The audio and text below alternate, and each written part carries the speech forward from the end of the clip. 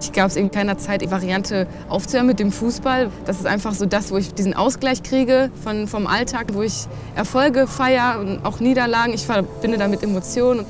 Für mich aufzuhören, das wäre kaum vorstellbar.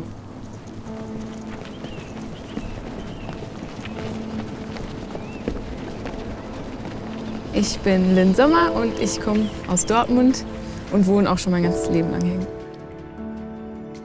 Seit der WM 2010, seitdem ich halt Alexandra Popp kenne, seitdem habe ich wirklich jedes Spiel verfolgt von ihr und äh, da fing mein Interesse halt wirklich richtig an, auch so mit dem Ehrgeiz. Da bin ich wirklich jeden Tag rausgegangen und habe Fußball gespielt, habe äh, alleine trainiert, mit Freunden trainiert und seitdem war eigentlich klar, dass ich hochspielen möchte und auch am liebsten Fußballerin werden möchte. Ich studiere jetzt aktuell noch und nebenbei noch Training, aber ähm, ich versuche immer beides unter einen Hut zu bringen. Natürlich muss man manchmal Opfer bringen, muss man einfach sagen. Dann hat man die Hausaufgaben vielleicht manchmal nicht. Aber ich würde keines von beiden aufgeben.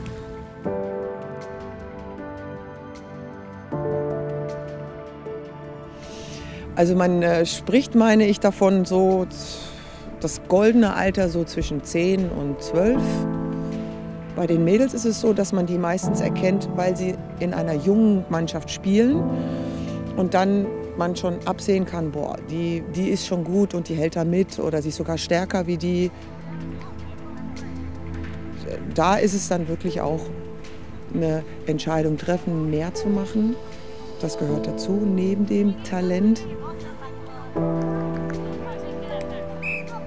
Ich bin Sophie Tobisch, bin 13 Jahre alt und komme aus Hamm. Also ich spiele jetzt schon seit zweieinhalb Jahren mit. Montags habe ich DFB-Stützpunkttraining, was mit den Jungs zusammen ist. Am Dienstag und am Donnerstag habe ich das ähm, ganz normale Vereinstraining. Am Samstag kommt dann halt das Spiel, wie immer. Ich mag es, weil ich möchte halt Fußballprofi werden und meinen Traum leben und ohne harte Arbeit also geht es halt nicht. Es liegt aber an uns Trainern, dass wir sie fördern dass wir gucken, dass wir äh, sie naheliegend fördern, dass sie nicht weite Wege fahren, fahren müssen. Das ist halt bei, bei den Jungs, wie gesagt, eher machbar. Aber das ist unsere Aufgabe, dass wir das erkennen und dass wir sie so gut wie möglich fördern und auch ausbilden. Und dann ähm, werden sie Nationalspieler, Spielerinnen, machen ihre Karriere. Also bei mir war gar nicht so dieses klare Ziel oder dieser, dieser extreme Traum da, ich möchte Nationalspielerin werden. Das war für mich irgendwie auch so, so weit weg. Wenn man dann in der A-Nationalmannschaft, also der richtigen Frauennationalmannschaft quasi ankommt, ähm, dann halt erst einmal für Deutschland aufzulaufen, ja, das war schon was Besonderes. Ein größter Traum ist es tatsächlich, die Nationalhymne einmal zu singen. Einfach so dieses, dieses Feeling, was man hat im Stadion, wenn man sich umschaut, die, die Leute, die einem zujubeln und die kleinen Kinder vielleicht auch, die dann da am Rand, am Rand stehen. Ich hoffe, dass ich es irgendwann mal schaffe.